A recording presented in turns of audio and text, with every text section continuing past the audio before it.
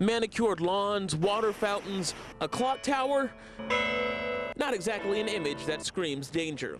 I mean, there's nobody in bandanas, nobody walking around with do-rags or guns or anything. I mean, it, it's a safe school. Not according to a new list. But it's like still, we're the number nine. Actually, number eight. Business Insider says the University of South Alabama is the eighth most dangerous school in the country, comparing incidences of violence and property crime. Crimes that include two rapes and a murder in a campus dorm last year. Well, with recent things that have happened, I guess you could say it's not very safe. I mean, I hear about people getting robbed and stuff. I'm not even gonna lie, from time to time, I don't feel that safe from all the stories I've heard. But controversy in the data because the study looked at crime on and around campus. This survey done by the website apparently took areas that are off campus. It basically looked at a more regional um, and it didn't really relate necessarily only to the campus. All schools are required to report on campus crime to the federal government as part of the Clery Act, and that traditionally has been a more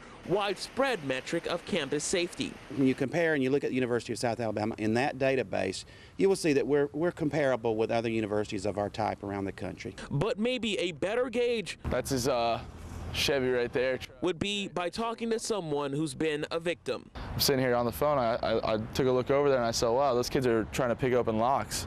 Nick Zaharian lives off campus and was sitting on his porch watching as a group tried to break into his roommate's truck. I started taking off to run after him to try and grab him, but uh, one of the kids got away and we held one of the kids and called the cops. But overall, most students we talked to said they're not losing any sleep on this new distinction. I wouldn't tell anybody not to come to South with fear for their life. If somebody's mother asks me, do you think it's safe for my child to be at South, I would tell them, yeah, like our, our police officers, they do a good job here. Look around, man. Doesn't this place, I mean, this place just screams danger, doesn't it?